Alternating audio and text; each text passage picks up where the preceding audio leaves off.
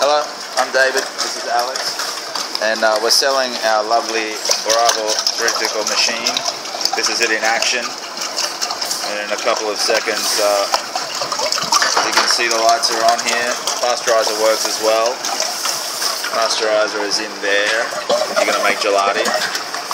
Today we're making uh, granita, lemon granita and uh, strawberry granita and we're going to sell it at the markets, but it's way too big for what we need. So, it's gone on the market.